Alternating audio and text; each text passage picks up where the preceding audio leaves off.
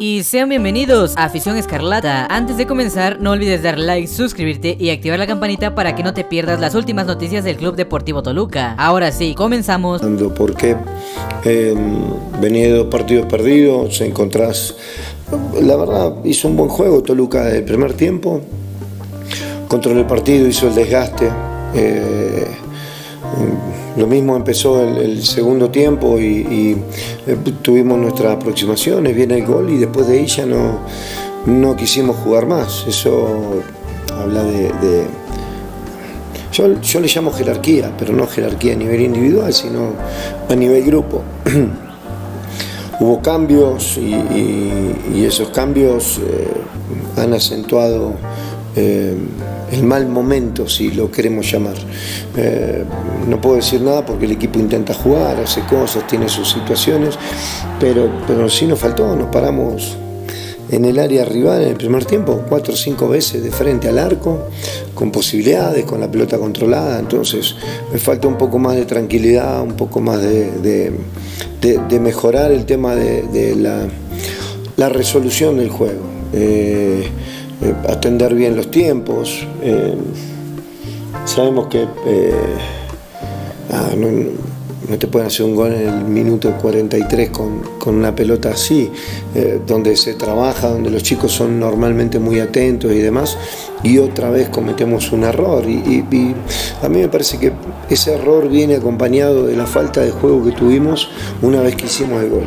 Hicimos el gol y nos faltó esa jerarquía de tener la pelota, de agarrarla, de aguantar, no de ser tan vertical o querer ir y chocar y chocar y chocar. Entonces tu desgaste eh, no solamente futbolístico, también es emocional. No tuvimos control de la pelota, no hicimos cinco pases seguidos en el segundo tiempo y eso provoca el, empate. son cosas que hay que trabajar. Acá hay una realidad cuando...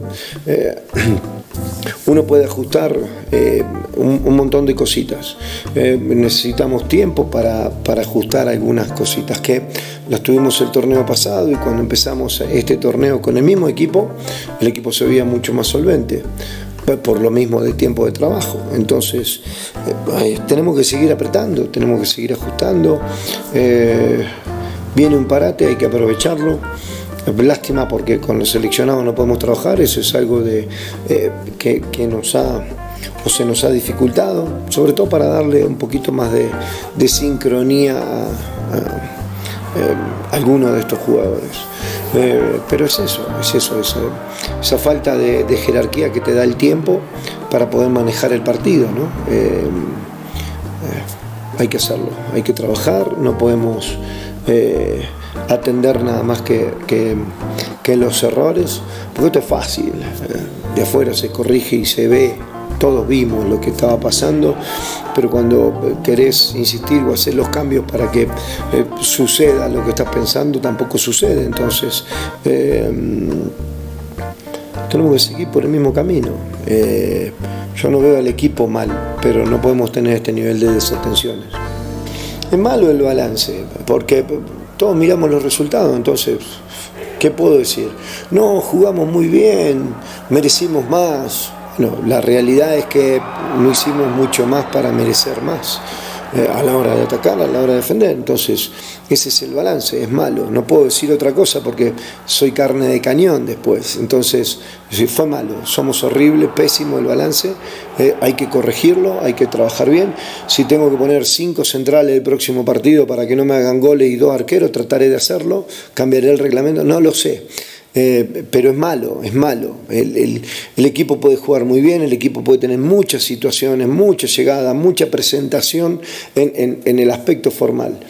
Pero bueno, los partidos se ganan haciendo gol, entonces tenemos que definir un poquito mejor eh, la parte asertiva para, para resolver mejor.